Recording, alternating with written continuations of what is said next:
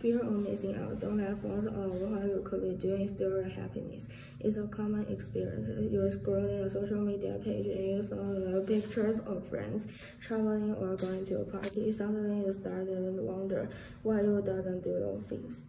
Because well, are you missing out on things that are fun or exciting because you're lucky into a everyday life.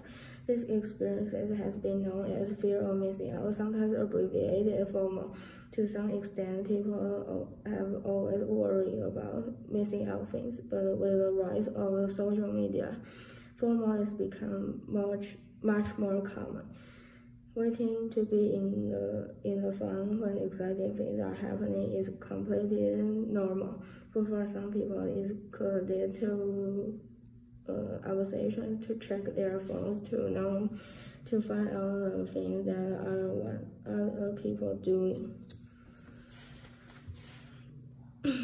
even, even when doing things that are fun or necessary, people will feel like the things that are better going on in uh, elsewhere.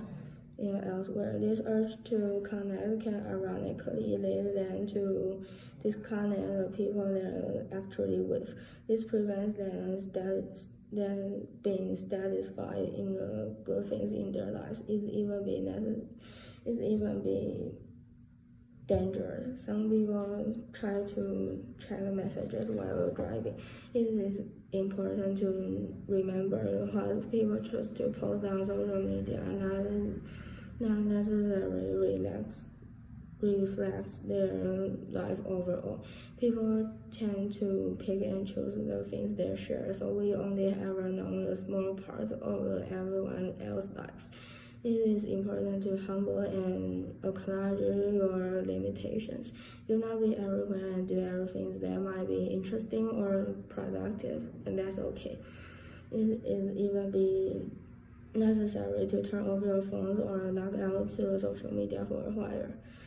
Get rid of constant reminders of everything are happening in the world. You even can set a particular times in your day to check email and social media.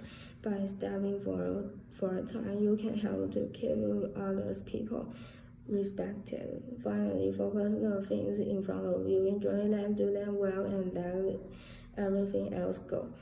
When you fully engage engage with life, you you will this you will worry less about the things you not do you not be doing.